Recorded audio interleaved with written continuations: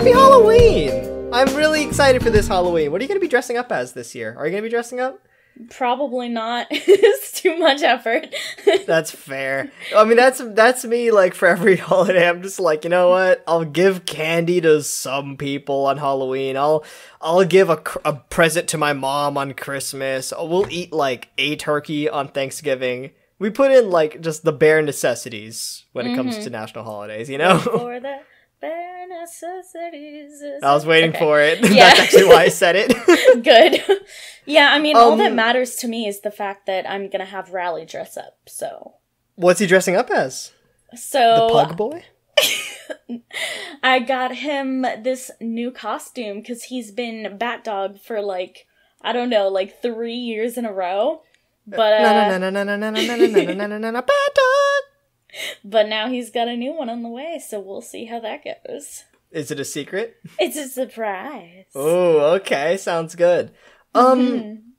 well, yeah, I haven't dressed up for Halloween since I think like I was ten. I want to say I haven't trick or treated since I was like nine or ten, and I remember I was in this like penguin onesie. It was pretty cute and really comfortable. that is Um, adorable. I uh, one of my fondest memories though. Okay, this isn't a fond memory because I hated this school, but like I was in this one school for like only fourth grade, right? And um, at that school, uh, we for Halloween did Thriller in the parking lot. so every single kid in the fourth grade, like they played Thriller on a boombox, and we all came in our costumes and did Thriller and did the walk and stuff like that. And Oh, I no. did it in my penguin onesie, and it was the most iconic thing ever. I wish I could have seen that. I kind of wish you did too. It's pretty cute. That is an infinitely more uh, cute costume than what I have planned for this year. I think I'm actually going to dress up for the first time in a very long time because uh, and I know what it is. you know what it is. I I, I won't. I'll I'll spoil the surprise. Why not? Because I managed to get my hands on a Beetlejuice costume. Uh, and uh, I got the hairspray, and uh, I got the hair for it. Honestly, I got the poofy hair. Um, so honestly, I'm set, man. I'm just gonna hope that like COVID doesn't come into the party, and I'm just gonna and and you know what? If it does, then I can celebrate everyone's death. So oh god. all's all's good. a little too in character. Little too much. Um, speaking of death. We wanted to talk. Uh, we wanted to theme this episode of Life of Screens on horror media, um, and specifically like seeking discomfort as a whole. I wanted to start off by talking about the fact that I freaking don't like horror movies and or horror games. I imagine that you're the same. Yeah, for the most part, especially horror movies, I just I'm not a fan of. I don't Mm-hmm. enjoy it. I don't seek out watching horror films at all. And rest assured, this podcast is not going to be an hour long video of us talking about all the reasons we don't like horror, all the times we've been traumatized from horror, and it's just bad, bad, bad. No, no, no, no. We're, we're not, it's not going to be that boring. But I, I will say, I will say that frickin' the one time when I was frickin' forced to play Five Nights at Freddy's 4, man. Ugh! Um, I, I- mean, here's the thing with horror. I, I think we should like lay some groundwork re- real quick about like how much horror we can tolerate. Um, I obviously don't like graphic violence. I don't like seeing people's like actual body parts being torn off or like really like you know intricate violent things and stuff like that. And usually movies do that like right off camera. That's fine. Like I'm even surprised that in Avengers Endgame they had a beheading in the first like 20 minutes of the movie. That really surprised me. But um considering how big of a movie it is. But like I mean it, it was like kind of in shadow, silhouetted, whatnot. Um regardless, like that's fine with me. And like Mortal Kombat does that some kind of stuff like that. It's not graphic enough that it bothers me. That's okay. But like an atmospheric horror I think is lovely. I really love atmospheric horror. Um it's part of the reason why even though we say we don't like horror movies, I I do like myself a good like 80s horror movie uh where jump scares weren't as much of a big thing. However, it, sometime around uh 2014 13 15 around then uh, a couple of indie games came on the scene that made their mark in the public consciousness with their jump scares and FNAF Five Nights at Freddy's is the biggest example I can think of Yeah. um, and I know a lot of people really love Five Nights at Freddy's because of the overarching story that the game never tells you. You freaking um, but I I know that I I never like could enjoy it properly or settle into it properly because I am a um a scaredy fraidy cat who doesn't like jump scares. And yet, uh, one time I went over to my friend Kyle's house when uh, Five Nights at Freddy's 4 came out, and he sat me in his chair and made me play Five Nights at Freddy's. I'm like, I want to do it. And, and, like, you know what? He pushed me enough that I was like, fine, man, fine. I, and, like, you could literally hear in my voice how scared I was because I Oh, was like no. peeking around the corner and I was like, oh no, I hope something's not there. Something is there, and I'm like, oh my friend. like I was just like my reactions were pretty dang like they're pretty they're they're pretty funny. I I can see how it would have been funny outside of my body, you know, looking at me. But like but as I got I- yourself, kill me now. Um, I remember I got scared. I got killed by Chica, and um, I remember the scream. I freaked out in my chair. I was like, and and Kyle was just kind of like chuckling, like he was unfazed, and like it's so crazy to me that there exists people who, um. Play like what what is it like Ultimate Custom Night or whatever where there's like turn on 50 animatronics at the same time that are all trying to kill you and it's just like a Oh, challenge God. at that point. It's just all about the gameplay, and if you get k- killed by a jump scare, it's like, all right, cool, just roll to try again. It's so crazy to me how nullified you can get, you know? yeah, I don't think I could do that. I do want to get to that, but later on. Uh, there's another FNAF story that I have actually. We were taking a Spanish test. Um, I finished my Spanish test kind of. Um, I was like one of the first few people to finish it, but the first person who finished it was already on their phone. They were playing FNAF 2 on their phone. Uh, this was freshman year of high school, so this was, yeah. Um, he was playing it on his phone, and then when I finished, I sat back down in my desk, and this dude goes, stands up from his desk, walks over to me, puts his phone on my desk, and then leaves. And he's like, make sure I don't die. I'm like, wait, what? What do you mean? So I picked up his phone, and I saw it was FNAF. I'm like, oh, just shoot me now. Why? it's a very quiet testing room, you know? Everyone's trying to focus on their quiz. I don't want to just out of nowhere just yelp like a girl because like Bonnie kills me or whatever. Like, come on. I didn't even know you could play it on your phone. yeah, I think they're all on phone. Um, wow. Which I mean, good for kids who like that, I guess. Which oh my god, you remember Slender Man? Yeah. That was a thing too. That was also on phone. I remember playing that, and I was like, "No, this is. I'm scared. I'm scared." No, I'm a little girl sometimes. It's all good. It's all good. It happens. it does. Um, but yeah, I I um. Do, do you have any particular uh, memorable stories about being scared? Do you want to like lay the groundwork for how uh, tolerant you are of uh, scares and whatnot?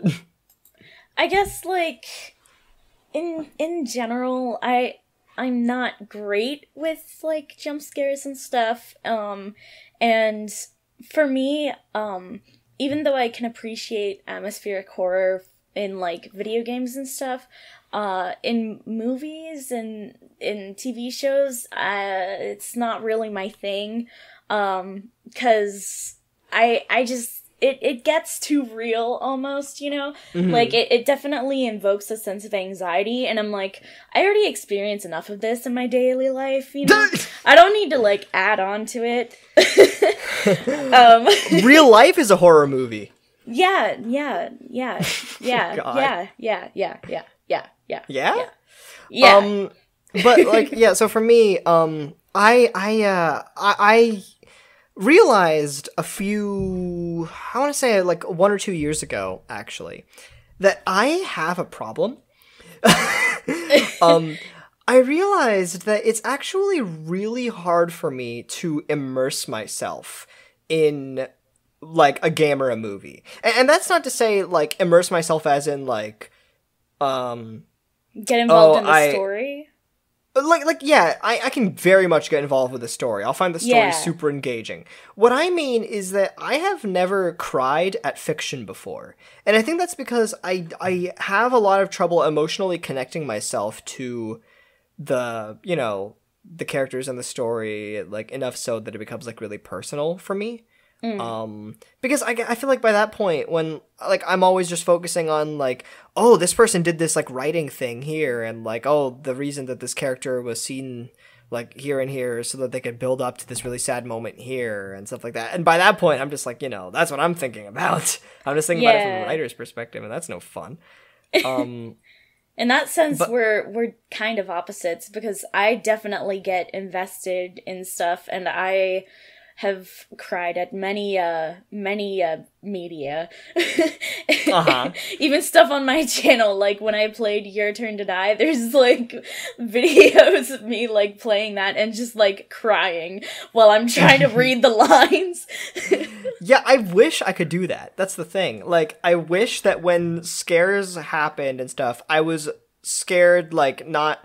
I, I wish I was, like, scared for the character, you know? I wish I wasn't scared just for, like, like, because it's, like, taking me out of the experience and stuff like that. Because here's the thing you will never catch me writing a jump scare into a story, and here's why.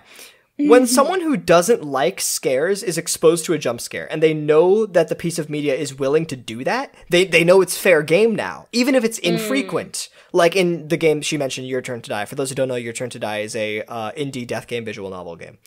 Um, it doesn't have that many jump scares, but when it does, it does have very few, and they're very spread apart, and they don't really have a place in the story, and they're infrequent. But the second one happened, I'm like, okay, now I gotta stay on my toes, and it didn't let me feel like fe- like I could attach myself to everything that went on in the game because that now I'm like defending my own like I don't I don't want to be scared because I don't watch media to be scared. I don't like it. And whenever there was a jump scare, I was just like I don't enjoy it at all. Um, you know, um, but but yeah, Yeah. no, uh, yes, like? I was I was just gonna say that um anticipatory anxiety is something that really gets to me, and that's um that's the word. that's kind of what it seems like you experience with jump scares. And even though I don't have that towards jump scares as much, I definitely feel like we're kind of in the same zone there. Yeah, I think that might actually part of the be part of the reason why FNAF like I still don't enjoy FNAF is because I, I haven't been exposed to many FNAF jump scares. So like, uh, but all I know is that the few times that I have seen them, they've scared me, and they're so quick and they're just flashes of like, "Ah!" and like that's all I know. They're so vague to me, and I haven't like you know it's all anticipatory. It's none of it is like me knowing what I'm actually scared of. It's all anticipatory. That's like, oh, there's this thing, right? Um, uh, and I, I, I, um, I hate to jump topic so much, but uh, I, I want to return to that topic on um, uh, visual novels a bit later. Yeah. Uh, because I started talking about um I wanted to talk about horror movies. I wanted to get back to that. Um so so the whole thing about horror movies for me is that because now that we've laid the groundwork for how you guys can get a feel for how scared we get at stuff. yes, guys, a baby. Um I don't like horror movies. I don't like the jump scares and I don't like the killers. My problem with horror movies is this, and I want to see if you guys can relate to this. In horror movies, I um they're too vague for me. They're very abstract for me. It feels like you're having to run away from this like thing. Like there's this in like this thing chasing me, trying to kill me. There's this intentional vagueness in the writing of a horror movie and and the killer because, you know, it's trying to tap into the fear of the unknown. But as a viewer, I'm left bored because I don't have enough details. Does that make sense? Okay. Um, the, the the best example I can think of is this uh, 2014 horror movie called It Follows. Have you heard of it? No. Yeah. Um, it's um, I don't even know who made it. But it follows is this movie. It's this horror movie about like uh, she's be like this woman thinks she's being chased by this unknown threat, and then her dead body's seen on the beach. So then, uh, meanwhile, two other people have sex, and then the next day, what the guy uh, straps the girl to a wheelchair and says, "Hey, because I had sex with you, I actually transmitted the curse. Like I was the target of the thing, and now you're the target of the thing, and now it's gonna come after you." And she's like, "What thing? The thing!" And um, literally, like I I was so bored because I have nothing to latch onto. You know, Mm-hmm. uh, there, there's nothing that makes me feel like any involvement. It's just this thing, and I'm like, awesome. Why do I care? it's and um and that's not to say that like oh, any horror movie with this like vague killer is bad because no, not at all. Freddy Krueger and Pennywise, I think they're very different because they have such memorable identities as characters. And and I was talking with a friend the other day as a writer you need to value character in horror. You need to give us a reason to care. You need to give us some identity to latch onto you know? Definitely. be be that in the killer or in the protagonists Yeah. instead of them just being like fl- uh, bags of flesh that'll just be sliced up one by one like it's it's so much more interesting if you have this like interweaving like tale between the killer and the and the protagonist and whatnot you know freddy krueger and pennywise i think like they kind of do that for me yeah. um, so even if I don't actually enjoy watching it because it has jump scares, um, I v- will very much appreciate the um, the the, the, just writing, the writing. the story. Yeah, yeah, exactly. Yeah, but I, I again anticipatory like oh I don't like watching it because I want to get scared. Um, but yeah, that's all. Um. Uh, was there anything you wanted to bring up about horror movie? Have you ever like watched a horror movie and like just did not enjoy it at all? Like, has your family ever forced you to watch one? Um, yeah, I mean, usually my family doesn't make me watch that kind of stuff. If if anybody makes me, it'll be my friends. Um, there was Oh, right. like one time we went to the theater and I had to watch a scary one, and it wasn't like the worst it could have been, but it was still like, ah, why am I here? Um, there's Mm. another time where we watched uh this movie i think it's on netflix about like them playing the game would you rather but like to extremes um like they were put in this situation where they would have to choose and um people got like killed off while playing Okay. this game um so that that that one really like stuck in my mind for some reason because uh it's one of those even though it wasn't like a like a traditional horror movie i just remember thinking uh, about like oh this story this whole premise and like thinking about the choices the characters had to make and stuff like that um but Mm. but that I, I looked it up. I see the movie's literally just called "Would You Rather," oh okay well that yeah that's fair that makes sense and the caption says, "Keep telling yourself it's just a game." uh, the first picture that appears is what looks like a very a close up of someone's eyeball with like a oh my god, ew, ew, ew. oh Uh, well, I hate stuff with eyes in general, but like, uh, what are the the the things that people used to slit their wrists? I'm so stupid. What are they called? Um, like knives? I don't know. nah, the small Scissors. rectangular knives without like ha- scissors. Who does it with scissors? I don't know. What are you talking about? no, I mean like like uh the rec the the rectangular, the small rectangle, the files, files. That's what they're called, right? Shaving files. Files? Files. Oh, razors. Razor. Well, isn't a razor okay? Razor without the handle, right? Like just like the Yeah. rectangular. okay, I'm so dumb. Uh, yeah. So it's just a picture of someone a razor next to someone's eyeball. Don't like eye stuff at all. Yeah. Yeah, yeah, no. It there was there's some like gory stuff. I think. Oh, that was, gross, like, yes. Yeah, same with Saw. Saw like apparently started out, and I haven't watched Saw. You guys actually feel free to like correct me in the comments. I believe that Saw started out as a series of movies that were like much more atmospheric horror, and now it's what people call gore porn. I think so. It's just a bunch of like, like overly graphic stuff because people enjoy that, and I'm like, how? it's a taste. That's the whole thing with horror as a whole. It's it's a, it's a taste. Yeah, my uh, my brother and his boyfriend were watching American Horror Story for the longest time, and like every every so often, I'd just like glance over, and it would be like really gory, and I'd be like, uh, "No, thank look- you." Just look back to my freaking baby baby stuff again. Yeah, I can't I can't do some certain stuff like that. It just makes me like ah. Uh.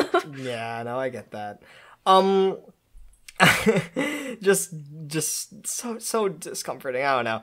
Uh but what I was talking about with uh my whole thing with horror movies about seeking character.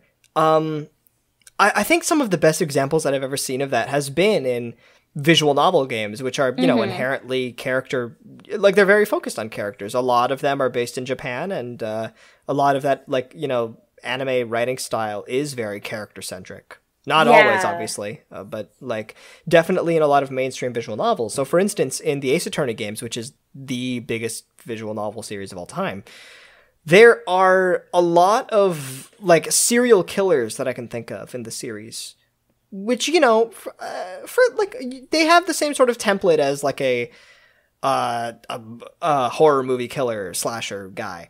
Um, but you know that they were given they're given such impact because you know how they negatively bring down and like have like made their mark on the intricate web of characters in this murder mystery story right. you know Yeah. that's what's so lovely about murder mystery stories. It's like every event has some impact on the whole web of characters. And your job as a detective or an ace attorney Phoenix is to mm-hmm. Untangle that web of people and why they did what they did because of all the people related to them. So like, you know, a, a, a serial killer put into that web is just so interesting because it's like, oh my god, they really tainted this web. They like like there's one particular character I'm thinking of, but like even conceptually, you can understand like that's pretty cool. yeah. Um but uh the main thing I wanted to bring up and I'm going to keep this brief because no one apparently has ever played it. Uh,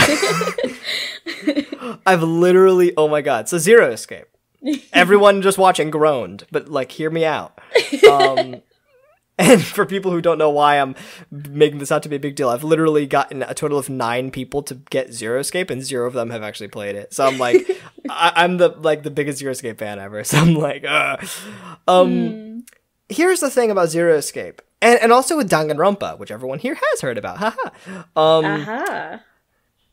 the interesting thing about both of these games, Zero Escape and Danganronpa, is that they are two visual novel games which involve a cast of characters being locked in an enclosed space for an extended period of time. Mhm. Now, that has a lot of benefits when it comes to character development and getting to know characters more, because this enclosed space allows you to allows like these innate little traits about the characters to really be brought out. Uh, you can see people's dark sides a lot more often. Um, and uh, especially because like you know initially in this enclosed space engaging characters and the mystery of the enclosed space you're in will take your attention primarily but i will say unlike danganronpa zero escape uses this to to kind of like play with this like like especially the first game there there comes moments where the claustrophobia of the space that you're in, like having seen the entirety of the ship and like, you know, like, oh god, there's no way out, and oh, we only have nine hours to live and stuff like that, it gets to your head and stuff like that. You have this dis- very descriptive slow burn of horror. The writing of Zero Escape, uh, the narration, is descriptive like a novel that you would read, like a book with pages. It is that descriptive in text. Um, And I, I heard someone once say that like, oh, like you know, books are like just the best form of media because like there are you sometimes like there are things in books that you just cannot describe with movies and visuals, and I disagree wholeheartedly. Um, because I think books are the most time-consuming form of media that I can possibly think of, and uh, I don't. uh, but I do love how descriptive that they have to be because they lack visuals. Yeah. So like usually with visual media like movies the director's job is to sort of like steer your attention towards something but when you have a game which not only does that but also has breaks when you just discover a dead body and then the game will tell you in excruciating detail like oh i saw this thing and it was like seeping like a blah blah blah blah blah it allows room for connotation it allows room for just you know it allows room for it to just seep in and uh, take it in at your own pace and not the characters. Um you know it, i really love that. I really really do. Yeah. um and i guess while we're on the topic of um uh well yeah, actually before i say that the other thing i wanted to mention sorry. Um no, you're good. the the reason I'm a fan of this writing is because it's never about the the horror is never about the urgency. It's never about the direct danger, the direct threat. It is always the claustrophobic, ambiguous feeling that is always there, burning in in the background while you're trying to just figure out the mystery and the like. You have these character interactions in front of you. Um, in especially the second game, there's some freakouts where like, oh my god, this character's actually like, oh my god, this character's dead. Oh my god, everyone's dead. Oh my god, how this happened. And like, there's all these like freakouts and stuff. By comparison, in Danganronpa, even though you're in this enclosed space, a character's death in that game is a whole ass like formulaic event to be chronicled in a wiki. Like f- case three victim, you know. Yeah. Um, I I find like in Zero Escape and something else I wanted to bring up, Corpse Party. It's like this genuinely scary shock when you turn the corner and see this character die because it's not formulaic. It's there's no obligation for this character to die. It's not a whole event and stuff like that. Like oh, you know it's gonna happen. But like wow, it adds a lot. It's really cool. Yeah. Now, I'm not the Resident Corpse Party fan. I've played one chapter one and that's it. Uh, but Corpse Party is another um, horror-esque visual novel, and a certain someone here is a very big fan of it. Yeah, so it's actually what got me into anime, like at you know, in the beginning, I guess. Um Yeah, so my my big thing with Corpse Party is um kind of going along with a point you said earlier. It's very um it definitely gives enough attention to the characters. They're not just there to be hurt and just to be killed or anything like I enjoyed Corpse Party so immensely because of the characters and because I got so invested in their fates and their relationships with each other. Um, so that was like my big thing with Corpse Party. Um, and also like even though it's um there are some like CGs with gore in it, like it doesn't really bother me when it's animated as much. Um and and some st- I mean some events don't even have CGs and in that case they're just like, you know, like little pixels of you know. So Oh yeah, like, the little like eight bit sprites. Yeah, like, to them. Yeah, oh well, you know. it um, happened. Yeah, but but even though like atmospheric horror isn't always my thing, um this had enough of it that I was like concerned for the characters, but it wasn't so much that I like did not enjoy myself while I was actually playing it. You know what I mean? Yeah, I, I mean, I think the key is suspense. Really. Yeah, Like even if yeah, you don't care about atmospheric horror, suspense will get anyone. Um, yeah. Yeah. uh to even so i don't know if anyone here has uh, played corpse party but like the first death that happens in the game i remember that when it happened there was like this little glimpse of hope like oh my god wait we might be able to save this person. Let me leave the place that they're dying in and see if i can like you know get something for them to live and like oh wait no they died. And like there's this very there's this suspense with like you know oh god i don't know what's happening and like okay but i might be able to do something when i'm not able to do something. And it's like very very cool. Maybe it's just different when like because I, I think i actually just criticized movies of doing this and maybe it's different when you're playing because it feels like you actually do have impact just because it's interactive yeah, yeah. I can agree Um, with that. yeah it's it's kind of like the unspoken uh, or i guess the the thing that's taken for granted about interactive media you're just Mm-hmm. you kind of have to be engaged um yeah. But you know, I I think like what you said about um, you know, the fact that the character interactions, like you know, obviously that's what you appreciate the series for right now, like in 2020. You appreciate it for the characters themselves and not like the, you know, the the atmosphere of, you know, the horror and whatnot. Um, but that's uh, actually worth noting because a lot of people for, for, for me at least horror in media usually comes at the expense of a character driven story Yeah. um definitely in movies. In movies when everyone is just you know like uh, cast a protagonist and you know over the course of the movie they're each going to be like picked off like fleet like just like just one after another. Just like okay like you rarely give me the chance to get invested in this this little like web of characters. Yeah, yeah, yeah. you know it's just kind of like they're off they're off screen and then they get slashed and it's like well eh, it's no Yeah. fun And I would even say that goes for the Corpse Party anime as well, because the anime um took this like big game with all these chapters and all these intricate details and not that it's like the most complicated thing ever written, but it condensed them all to four like 20 minute episodes of anime. And instead of like going with the ending that happened in the game, they just like killed almost like everyone off.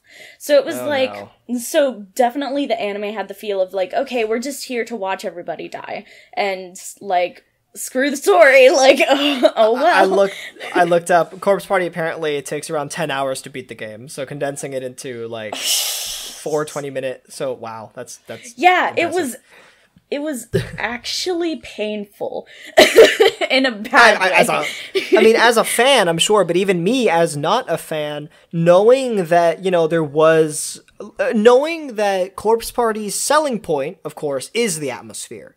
It is a, a it is a uh, game that people come to know because it is a scary game about people trapped and they try to live. Like that's all I know, really. And there's ghosts, whatever. I don't know yeah. it's a little sad when that selling point is the only thing that becomes uh what's the word documented about that game in the long run you know Yeah. in ma- in like the mass media to the point where it gets an adaptation where the biggest selling point of it is that scare factor and not the value of the characters that actually kept your attention when it was interactive Yeah, Um, because there's oh man, there are so many good relationships between these characters that just have you like riveted. And in in the anime, it's like okay, maybe they talked once, maybe they talked a couple times, and but Mm. I mean, you don't get to care about any of them because it's so quick and it's that's annoying. Yeah it it was very annoying. But um yeah my my other thing with with uh corpse party i should say is also i really enjoy the music. Mm. and i definitely am one of those people who like music is very pivotal to my enjoyment of something. Music is a core part of your identity as a person Yeah, it really is. Um, so just especially for Corpse Party to have this like really great characters with these great interactions and relationships with each other and then for it to have like this awesome ass soundtrack as well i was like mm. I mean, shoot, why do you think I like Zero Escape? I Yeah, bang yeah, out yeah. to that. I bang out to those songs. It's like this. There's like this really scary song where like it- it's the tension song, right? Like when something like oh my god, something really bad has happened. It's like dun dun dun dun. It's it's uh for the one person here who's played it, Chillin' Rigger. um, oh my god, literally, I bang out to that thing. we're gonna have to have like a like a day where we just like listen to I'll listen to your Corpse Party tracks and then I'll show you my Zero Escape tracks. Because, yo, I'd be banging out to the death song. which sounds amazing out of context oh, yeah. I mean, that's Danganronpa as a whole. The whole thing has this, True. like, wonderful. I know I've been doing, like, subtle disses towards Danganronpa this whole time. But, like, God, the music, I, I'm weak to the music because, like, electro swing is my weakness. It's my favorite genre of music, and Danganronpa taps into that really well. yeah Um, it's kind of like the whole because in Danganronpa, and I think this is a big part of the reason why you know Zero Escape will choose to tap into the claustrophobic nature of everyone being trapped into a place, whereas Danganronpa doesn't, and it's like a big event. It's like oh, it's the uh, welcome to one, two, V three. We got like six chapters worth of like you know it's the same stuff. It's basically yeah. Anyways, I'm, I was about to spoil V 3s ending. Uh, V3's ending. You, now you know why I love the ending because it's so, social commentary on like this whole formulaic nature of Z- Danganronpa as a whole and the fans. Um. Anyways, basically, Danganronpa death is fun, and investigation is cool, and shooting down uh, arguments is badass, right? mm-hmm it's tone. It's it's just tone. That's really it. Yeah. That decision alone will steer everything about the creation of a game and the music and the writing and everything. That one decision. In Zero Escape, everyone's trapped as well, and there's this mystery to solve and they want to get out. But um I want them I want there to be a lot of bad endings. I want you to have to f- find the truth in order to reach the true ending. I want there to be deaths, but and in like the uh, uh, endings where you died, they need to really make an impact on you and really make you want to find the right way out by l- using what you learned from the bad endings. I want you to really feel like scared.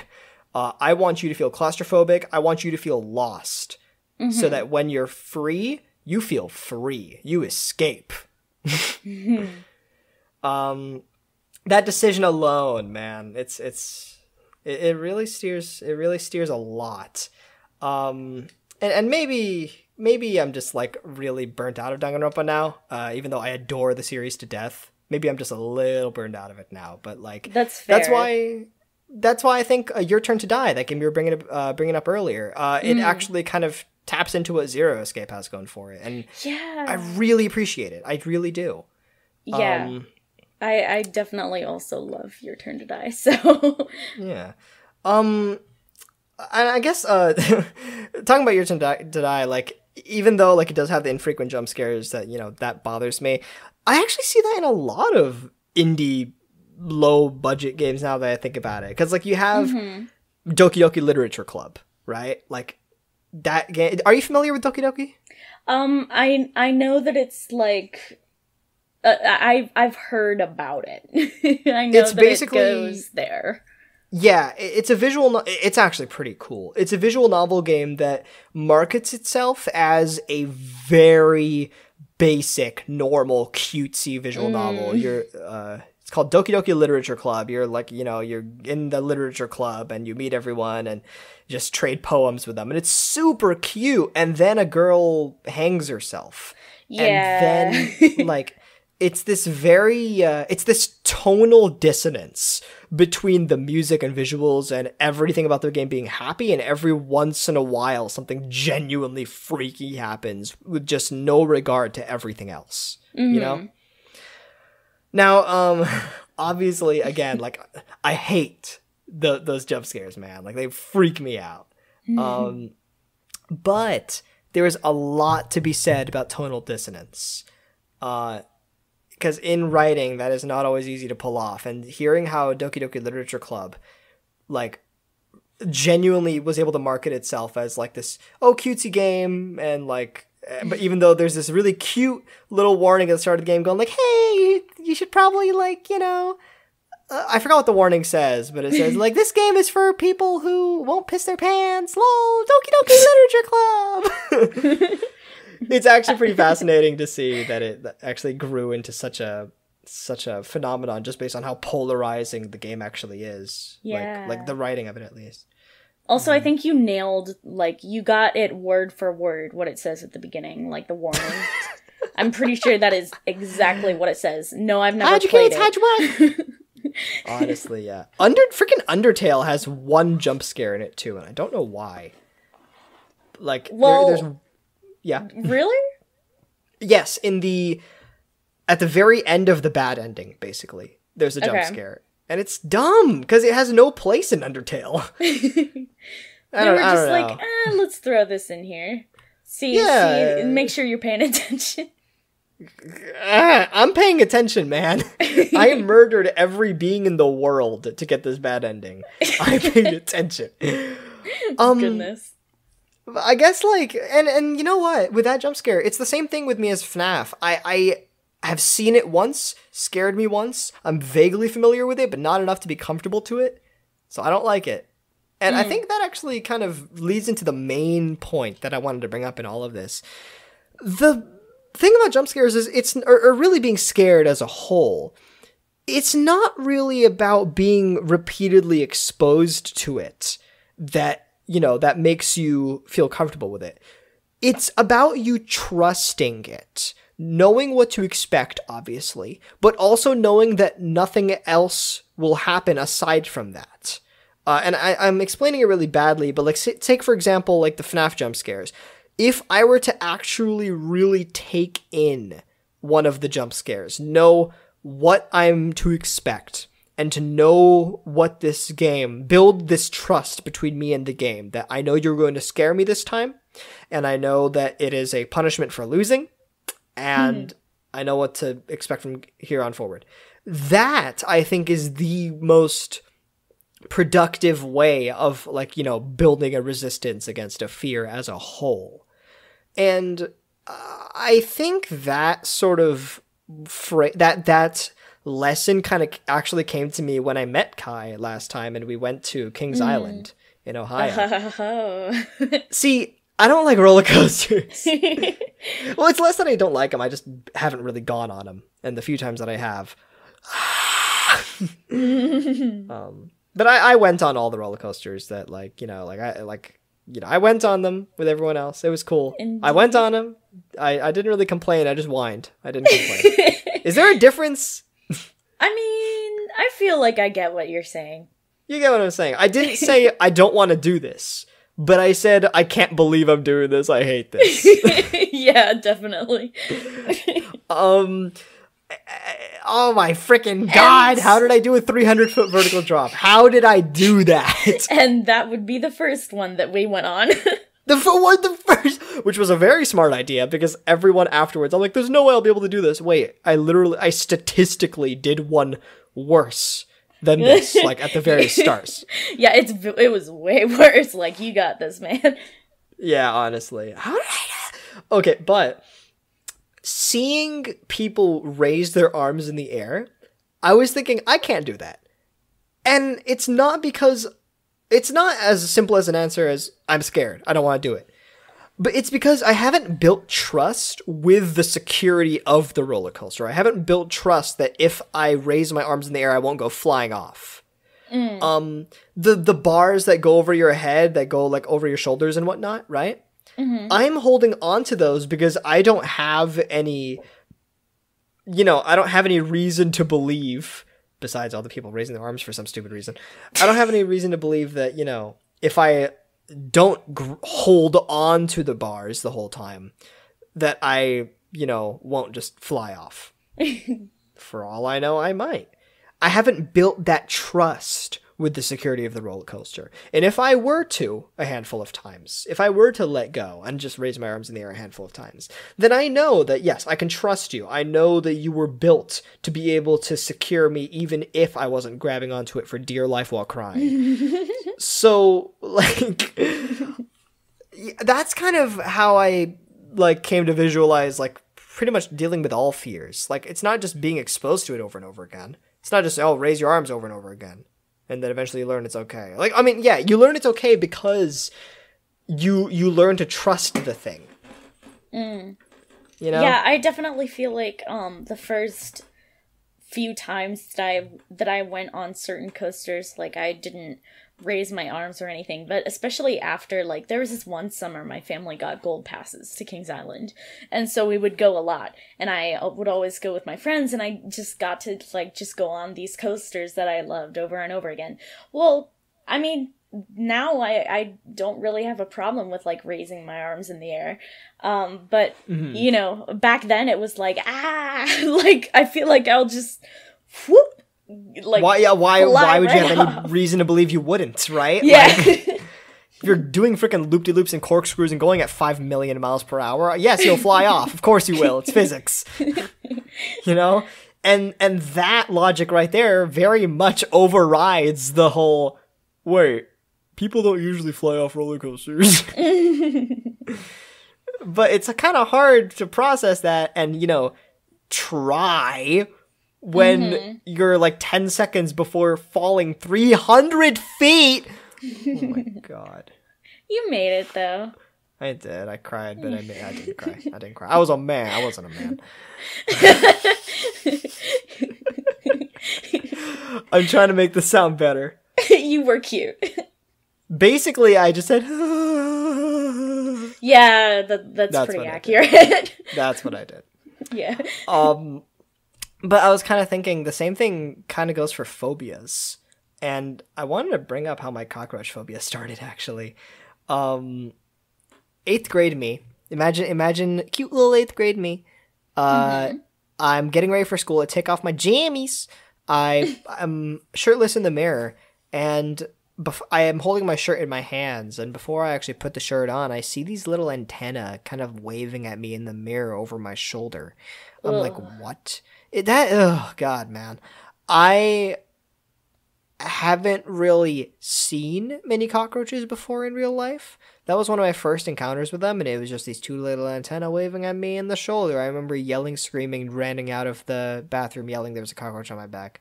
So you know, trauma is you one traumatic experience will spark a phobia, and ever since then that happened. Uh, unfortunately, I live in Texas, and we move all the time, which means we have cardboard boxes, which cockroaches love.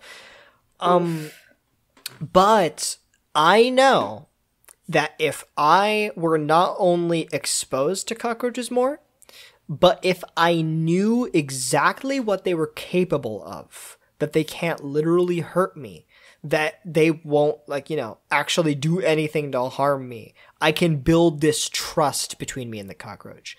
Do I have any intention of doing this? No. No. but at the very least, I know that it is possible, and I know that is how you do it. You build that trust with the object. Uh, I- I, saw this video yesterday about like someone who has claustrophobia going into this cave, like uh, like like it's this little cave in the ground, and they just kind of like fall into it and like kind of feel all the walls surrounding them, and like, you can hear they're scared, but they're in there for like 15 minutes, and they're getting a feel for all the walls, and they're getting a feel for the scope of their fear Mm. and they got out and they were smiling. It's kind of Yeah. crazy, huh? Yeah. I feel like that is definitely a fair way to look at it, and it can definitely be true. Um, for me, I don't know if I relate to that just because, like, it. I feel like even if I, quote unquote, knew what to expect of what I was scared of, which for me is, um, bugs.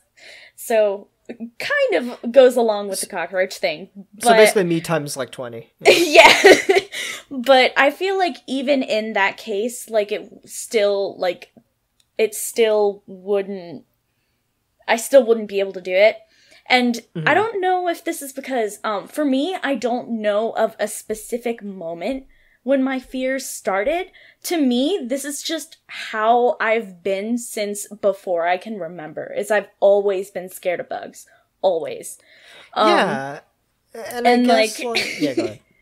it's just I was just gonna say like um so it's it it also doesn't feel like a very uh logical thing to me. And I know that like you know fear in general isn't logical but to the extent of even bugs that other people are like oh it, like do they even count as bugs? You know like ladybugs or butterflies. I'm scared of those too and it's not like a rational thing. It's not like I see a butterfly and I'm like, "Oh, I I know that those can't hurt me, so I'm going to be fine." No, I know they can't hurt me, but I'm still freaking out. you know what I mean? Yeah.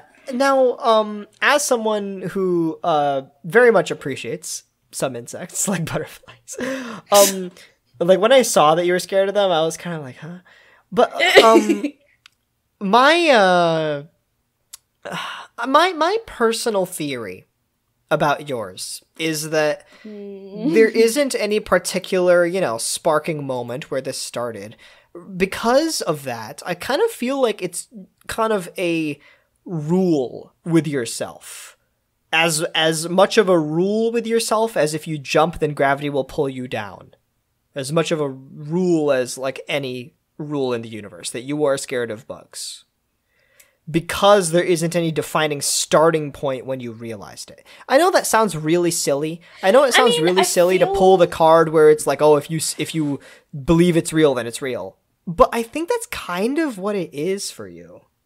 I mean, yeah, I I don't think you're like yeah, you're not wrong. Uh I I think to an extent that's definitely true. And um I I yeah, like like I was saying earlier, it's not a very like rational thing. It's just like it's almost like an involuntary response. Like when a bug comes Yeah. near me, I'll like literally move in ways that I don't like normally dance move. away. No, like give it up, like um, like there's this one time where uh I was at work and the manager told me that there was like a beetle or something on my pants and I literally like did this like I I I don't even know what I did, but I like flailed to try to get it off and it was completely involuntary and I don't even know what I did. I just like had this like freak out motion and then it was like, ah, is it gone? So- I think that this whole thing is just ingrained into your code, and I think it is perfectly plausible that you can take the effort to, you know, eventually work to, you know, be more resistant to it. And I think in a lot of instances, like, you know, beetles and cockroaches and spiders and like, you know, like stuff like that, I think like, you know, if I were had a phobia of beetles and spiders and cockroaches, I was like, oh no, I don't, I'm not even gonna bother. Yeah, no, I'm not ever gonna bother Yeah, with those. Screw that. But I kind of want to no, it's a bad figure idea. out. Shut up. I kind no, of a want bad to idea. figure out figure out a way to over time, even if it takes like fifty years, over time get you Mm. not as ha- have these involuntary reactions to like butterflies. okay, That's but uh, not to say I'm going to stick one in your face because I think that's stupid. well, I trust you, so yeah, I'm a psych major. I will figure But- out a way yeah. That also because I think that can actually harm your life. Yeah, no, I think it would also harm our relationship. Uh, and Well, I think it would harm like you going out again if you realize that Yeah. outside is home to bugs.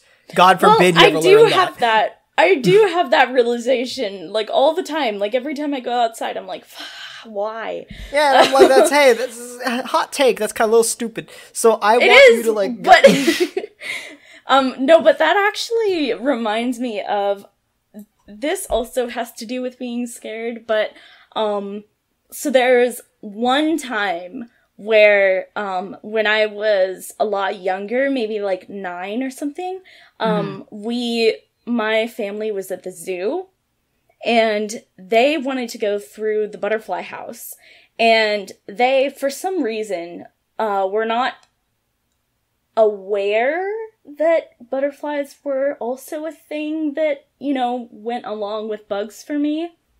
Um i don't know how but uh so basically they kind of made me go in um and there was like 0.2 seconds where like I got pushed through the door and I just like froze and I just had this moment of like um what's the word like you know when uh, like overloaded like my senses were like overloaded and Uh-huh. like everywhere you looked there was one you know and Uh-huh. I was frozen and then I took off sprinting through the thing. Probably, uh, I don't know how I didn't like crush anything because I literally sprinted, uh, to get through and out of the other side. I couldn't even do that. And they're, they're, you know, like it's, Yeah. like, so, it's, uh, yeah.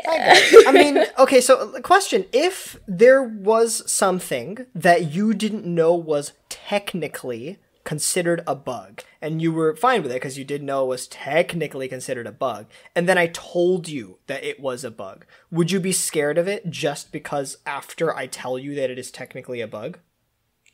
I mean, I don't think so, but also I can't think of anything. I can. Uh, I didn't know that the cockroach in WALL-E was a cockroach. really? It doesn't have any cockroach like features at all. It does not have the creepy legs. It has this neat curvature to it, and it has all the mannerisms of a dog. So when I watch the movie, I don't even know what it is when I'm a kid. It's a being, you know?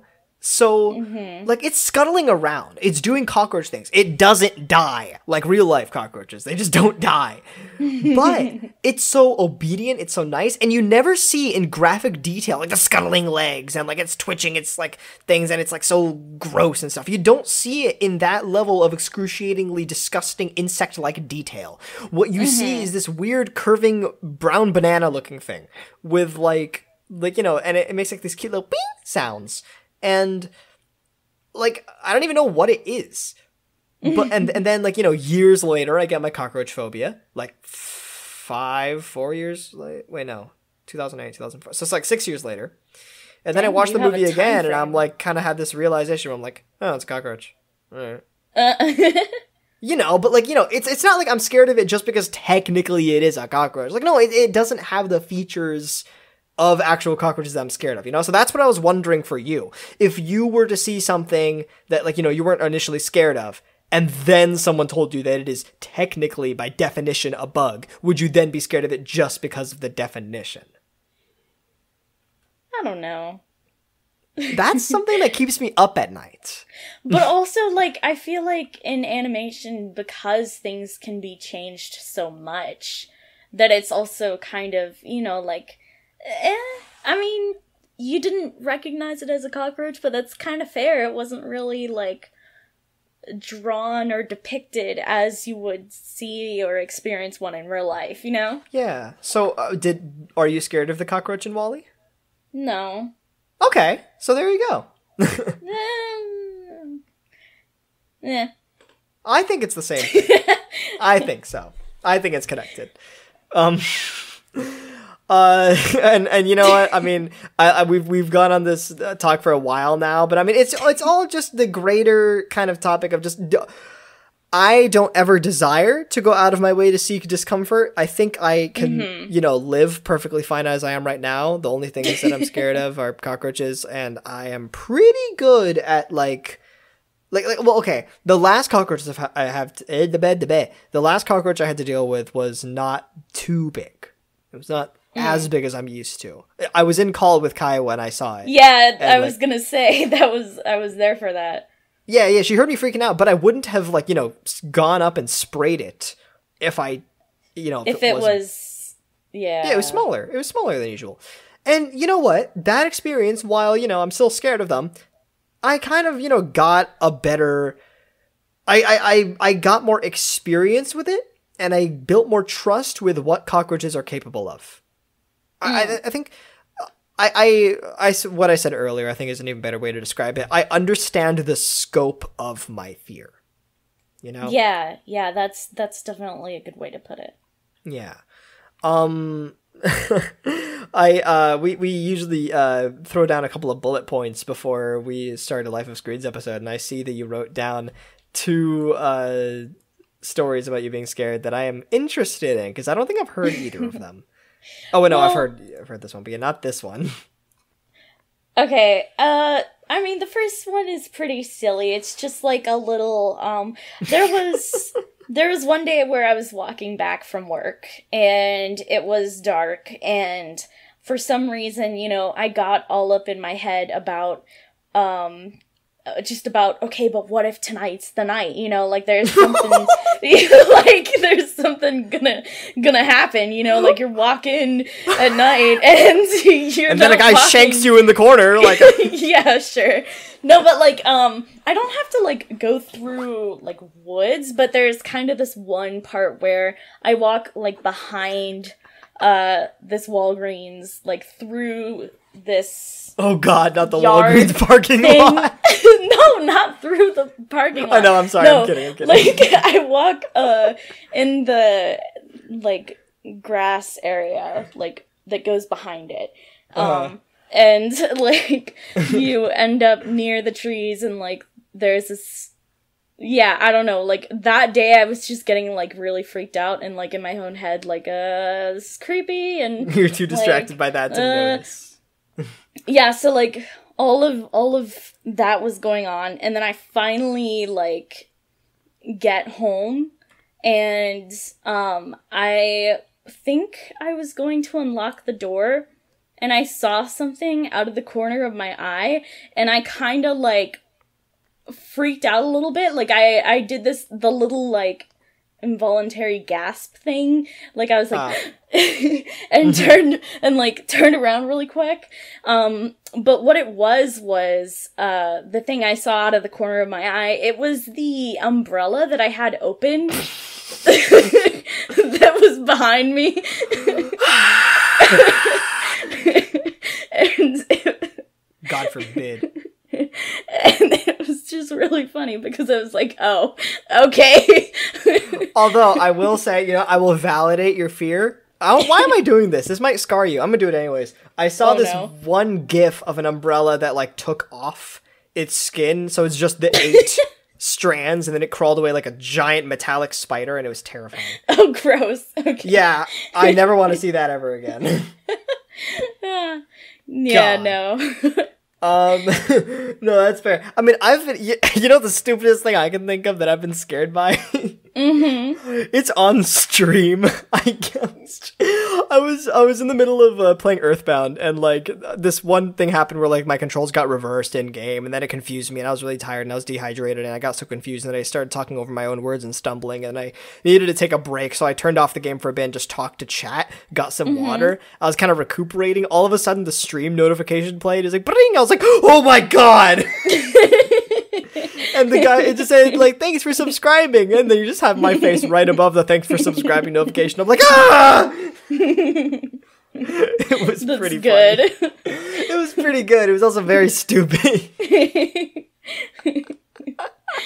that that's a good moment though. I'm glad that that's uh, documented. it is documented unfortunately golly Goodness. Um, but yeah, I, I think the the lesson to be learned from everything that we've talked about is you have to build faith with the thing that you're scared of, and you know understand the scope of it. If you're not interested in facing it and making it better, like us, then at least I think this is a good way to characterize like even just jump scares in video games and movies as a whole. Because I will say, just like how I wouldn't be scared of roller coasters if I had a mental idea of how strong the security is, I wouldn't be scared of jump scares if I knew, like, you know, just what I was getting into. But I mean, then one could argue that that kills the scare if you like really have to make yourself comfortable to it, like you know, FNAF, like that. Then then you're not really playing it for the scares anymore. You're playing it just to win the game. Um, I guess that's that's another point to be brought up. It's a conundrum. It is a conundrum, isn't it? So it's so it's kind of a catch twenty two. You just have to once you once you become comfortable with it, it just loses its value. That is so that is a conundrum.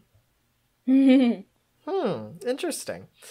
Um but yeah, no, uh that's that's that's the general gist. And while I still don't really care for horror, which I mean it's unfortunate because my viewers constantly tell me to um, play horror games on stream. Constantly. I think Amnesia is the biggest one, and I'm like, no. Oh my god. Is that the one that like frickin' like PewDiePie used to Oh, play all the time? Yeah, it is. Um, Yeah.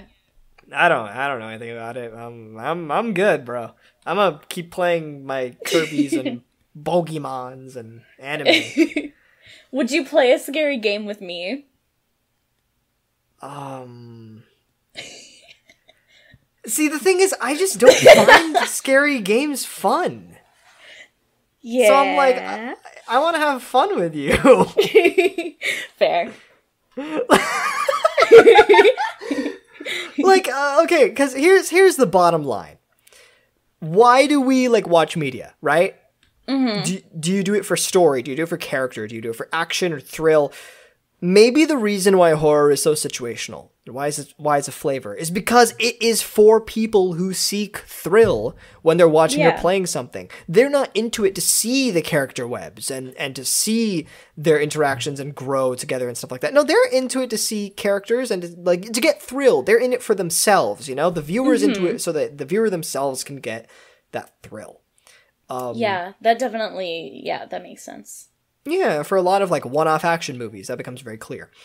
to me, obviously, that thrill usually comes at the expense of character-driven story, which is what I watch media for. Uh, if you couldn't tell from this last hour. Um, but as a writer of my own passion project, it becomes obvious when I write scenes where you know in every in every section I try to have some form of character development in literally every single section of it. It becomes obvious that not everyone who watches is a critic of character development. A lot of casual viewers want to watch something, you know, thrilling and bookmark a memorable highlight before moving on. Yeah. Um, like this, this is tangentially related. I was actually wanted to test this theory. I, I asked my mom, like, what's the when you think of Ratatouille, what do you think of? And she's like, that one scene where Anton Ego eats the food and then he's like pulled back into his childhood and like, oh, it's just like Mama's food. Uh, do you know what I'm talking about? yeah. like that's the thing that everyone remembers from that movie, right? And like I asked like with WALL-E, what do you remember from WALL-E? And she's like, oh yeah, like the desolate planet and him like making like trash and stuff like that. Like you know, um, maybe the first one wasn't a good example, but like I I I asked her about a bunch of movies, and it's like, what's the visual? What's the one scene, one visual that you remember? And this experience kind of taught me, like, hey, no, you, every single scene that you make doesn't need to every they don't all need to serve the purpose of this overarching character development between all the characters and building their web together. No, it is also worth just creating scenes that, you know, primarily just have a lasting impact, something ballsy, you know? Like yeah.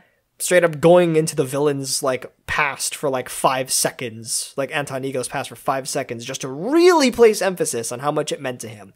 Little ballsy moments like that, that kind of taught me the value of, you know, prioritizing thrill over character development. So I started to insert a little bit more of that into my writing. And uh yeah, that- that's kind of tangentially related to the whole horror um Yeah. discussion, but I wanted to share that. Yeah, it's it's kind of like if you can use it in moderation, Mm-hmm. then I feel like it can add a little something something. Yeah, for sure, for sure. Because even like with uh, a lot of sitcoms, which go on for hours and hours, like, uh, Mm. or, or rather, like you know, the, the entire runtime of the entire show is like you know very long. Um, the things that I'll always remember the most is just you know those really weird, stupid moments. Not like you know the eight seasons worth of all the characters. Like, well, sorry, sorry. Let me rephrase. I do remember all of the eight seasons of characters like coming and going and like like growing closer and breaking apart because of drama and stuff like that. But mm-hmm. also, that is not the majority of the audience. And that is something really important to remember as a writer. The majority of the audience is going to say, like, oh, you remember that one thing? That one mm-hmm. time that that really cool thing happened? That was, that is like the main thing that I grabbed from that. And that is what stays in the public consciousness a lot more than an essay, an essay's worth of talking about, like, oh, this character development writing over the course of so much time, you know? Um, yeah. And I think I think it's good for your story to have like natural um you know, natural uh rising and falling action even aside from just the actual climax, you know, uh huh. of the whole story. Like I think having those little peak moments and little dips back into like the regular um is is what helps keep people engaged and keep people like okay you know this There's okay, some substance. There's some Yeah. yeah, because this is this is what i enjoy yeah, because I feel like even uh, that little summary of what I told you from It Follows, for instance, the the little summary that I just gave you, it's very flat. It's like okay, killer person dies. Okay, people have sex. Okay, it's because I transmitted the killer to you, and it's like you know like. I watched the first half hour and it was like this very it was very flat. It doesn't matter if the entire thing was high tension about like, you know, it's like, oh people dying, oh you might die next, and the entire thing's at that high tension. It's still a flat line. And yeah you know, if you don't do something ballsy, like all of a sudden, like, oh, bring me into the killer's childhood or something, or like really reveal some really crazy truth about the survivors that will actually impact the story from here on out. Uh, because, you know, mm-hmm. the purpose of a plot twist is to twist the plot, twist it.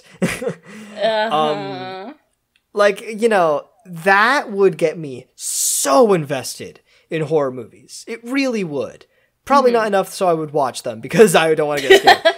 but I would become very interested in the writing of them. I will say that. I will definitely give them that. yeah yeah i um i do want to say since you brought that movie up again uh Mm-hmm. even even i know that uh, if you're in a horror movie you're not supposed to have sex because you will die I mean, fair. There's this one Geico commercial about like, uh, like it's like these four people, like quote unquote, in a horror movie, and they're like running away from the killer, and she's like, "Oh, let's hide behind the chainsaws, yeah." And they like hide behind the What? chain, and the and the killer's right behind the chainsaws, and the narrator's like, "If you're in a horror movie, you make bad decisions. It's what you do."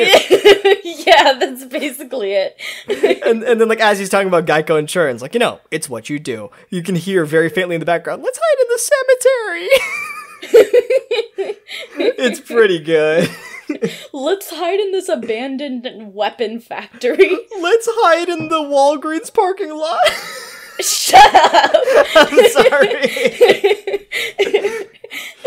I mean, that brings up this whole separate conversation about like why are they so ridiculous? Why why are the premises and the events that happen so ridiculous just for the purposes of having easy kills? You know, like does sharknado count as a horror movie yeah, for sure. It's a it's it's a horror to the entirety of the movie industry. oh no Yeah, we're throwing shade it's a disaster. Literally, it's a disaster film. Oh my goodness. oh no No, um, if there's nothing else to be said, uh, if you'll excuse me, I'm going to dress up uh, in my true Halloween outfit. The Beetlejuice thing was just, you know, that was that was a distraction. I'm gonna dress up as a can of beans. oh no Bush's baked. I, I'm definitely going to get a giant cylinder, carve Bush's baked into it, and walk around asking people if they want beans, and they're gonna say yes, and then I just kind of like. oh yeah that'll definitely that'll definitely uh That won't make you a lot of friends That won't scar kids at all, man. yeah yeah Actually, actually, before we end off, I think I actually have a really short story about oh no really depressed kid on Halloween. oh Um, no uh, maybe not depressed, more just like he didn't want to be there. Um, okay And if you can think of any Halloween stories you can share, but like basically, oh my god, this kid. I um I was just at home. I you know for the past few years, like ten years, I haven't been doing trick or treating, but I do give out candy whenever kids come over. And I used to live in a neighborhood with a lot of kids, so I um I would give candy to all of them. They'd be like trick or treat. And I'm like, oh my god, what are you? What are you? That's so cool. And like we talked and stuff like that. I gave them crappy candy, and they left. Now, um, th- like there was one point where like you know it's been 20 minutes since the last group of kids. I'm like, okay, they're probably done. Like trick or treating's probably over. Um, like 20, 30 minutes pass, 40 minutes pass, and then the doorbell rings. I'm like, is that a trick or treater? I open the doorbell. It's this one like really meek kid. Like this little short like kid, man. Like he's so innocent and pure, I guess, but he's also just so done with life.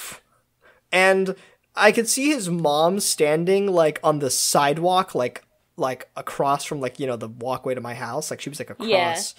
And he doesn't even he's like I don't even think he said trick or treat. I open the door and like I don't even remember what we said, like, hey, and then I give him the candy. He immediately turns tail and dashes, runs down the freaking like road to my house back to uh, the mom, and then like like before that, uh, I go like, hey, wait, what are you supposed to be?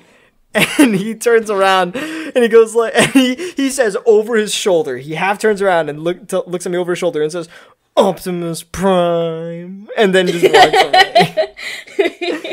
and it was like the funniest way ever. Just Optimus Prime. and then he went back That's to his really mom. cute. It was pretty cute, and I also felt really bad for him. I will Poor never be able to get out of my head. Optimus Prime. He was ready to go home. that will stick with me forever. Yeah, he really was. It was an eternal mood. so next, so this Halloween, I'm going Bush's Bang. Oh no. yes, you will be sure to make many friends.